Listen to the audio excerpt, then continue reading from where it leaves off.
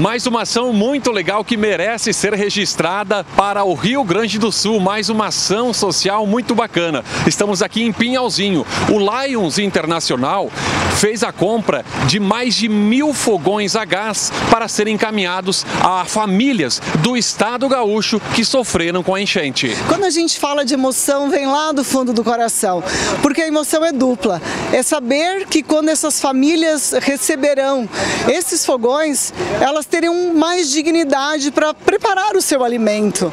E a emoção é de pensar que, em nome do Lions, em nome do Distrito Múltiplo LD, nós estamos conseguindo dar essa condição às pessoas, às famílias que foram atingidas pela enchente no Rio Grande do Sul. O Lions Internacional é, tem uma fundação que é o braço né, do Lions Internacional que cuida dos recursos e assim que aconteceu essa catástrofe, Lions liberou um subsídio de 100 mil dólares, foi onde nós compramos fogões. Mas a ajuda do Lions ela não se resume somente a esses mil fogões.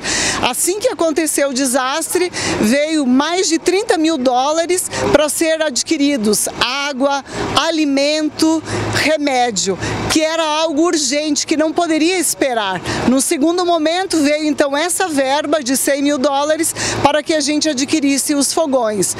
E uma das coisas que é mais importante, que nós temos que passar isso para a sociedade, é que o Lions não está só doando algo material, o Lions está doando o seu tempo. Muitos clubes de Lions que estão nessas cidades que foram atingidas deixaram os seus trabalhos, os seus lares, estão ajudando os outros.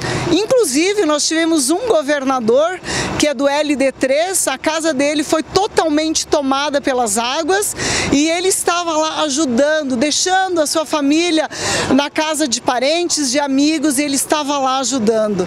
Então o trabalho do Lions, ele não se resume somente nos fogões, ele se resume em algo muito maior, que é ajuda à humanidade. Para nós é um momento histórico, é, como a gente fala de felicidade e tristeza, tristeza por aquilo que aconteceu, mas felicidade por, por poder estar ajudando, são 1.020 famílias, né, que receberão esses fogões e serão com certeza isso vai mudar a vida deles.